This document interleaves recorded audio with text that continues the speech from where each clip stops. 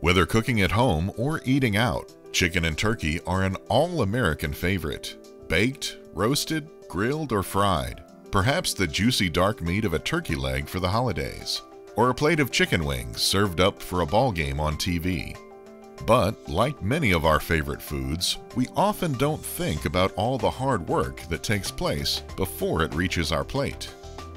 The U.S. Poultry and Egg Association invites you to join us for a behind-the-scenes look at today's high-tech, highly efficient poultry processing plants, where the industry proudly earns its reputation for producing one of the safest, most wholesome, and affordable foods in the world. We begin as the birds are collected from the family farms and delivered for processing. Processing plants are typically located near the farms where the birds have been raised, which serves to minimize stress and discomfort to the birds during the delivery phase. Poultry companies must follow strict guidelines established by the U.S. Department of Agriculture for the stunning and slaughter of chickens and turkeys.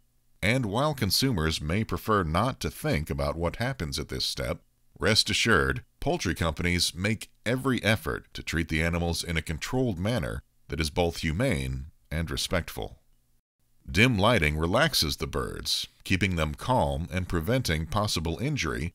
Next, they are transported to an area of the plant where they are immediately stunned and rendered unconscious.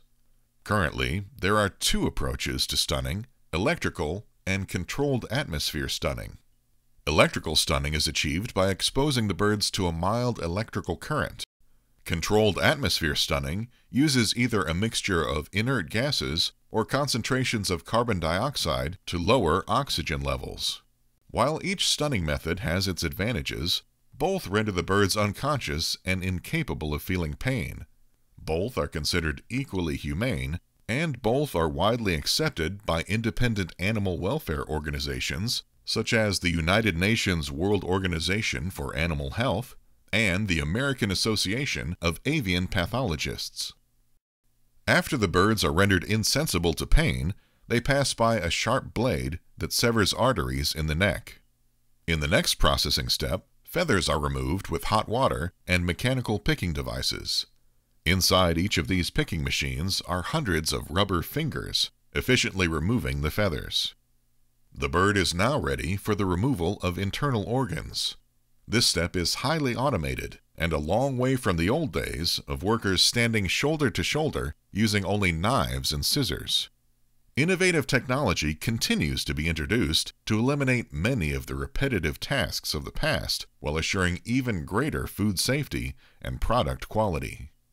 Raw meat, like any fresh agricultural product, including fruit and vegetables, may harbor naturally occurring bacteria.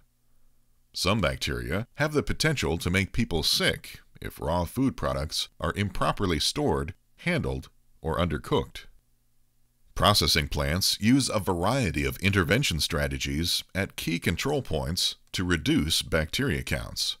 For example, the carcass is quickly cooled in a cold water or a cold air chiller to inhibit the growth of bacteria.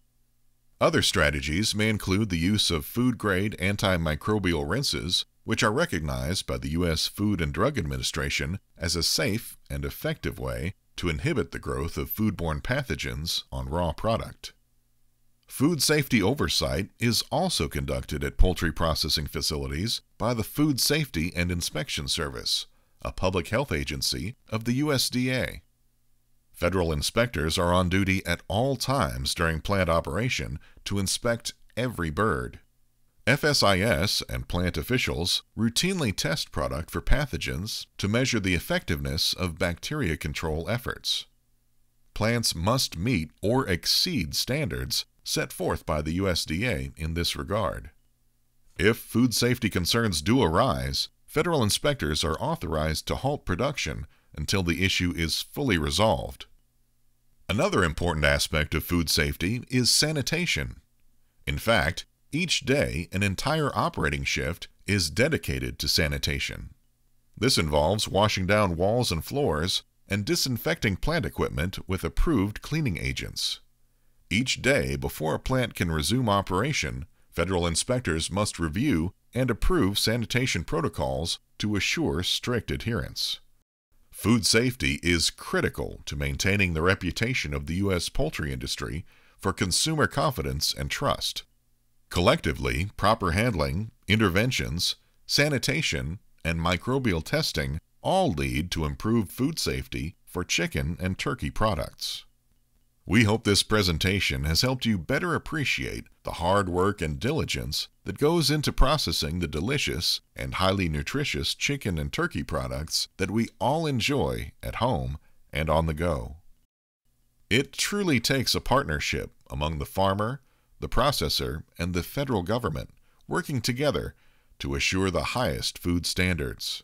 But there is still one more key partner you.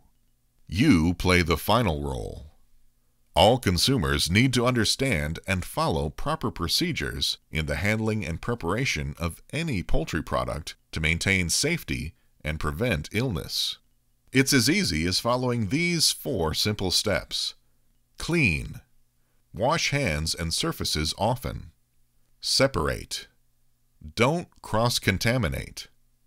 Cook. Cook to proper temperature. Chill. Refrigerate promptly. Chicken and turkey should always be cooked to a proper temperature. Only by using a food thermometer can you accurately determine that poultry has reached a safe minimum internal temperature of 165 degrees Fahrenheit throughout the product. As mentioned earlier, similar precautions extend to other raw foods, including most fruits and vegetables. Thank you for watching. If you would like more information, contact the U.S. Poultry and Egg Association or visit our website at www.uspoultry.org. As part of this series of educational videos on the poultry industry, we also highlighted the modern day hatchery and the family farm where chickens and turkeys are raised. If you are interested in this phase of the poultry industry, be sure to view our presentation entitled Raising Chickens and Turkeys for Today and tomorrow on U.S. Poultry's YouTube page. This message was brought to you by the U.S. Poultry and Egg Association. Funding for this video was provided by the International Poultry Expo. Please support our exhibitors and we invite you to attend.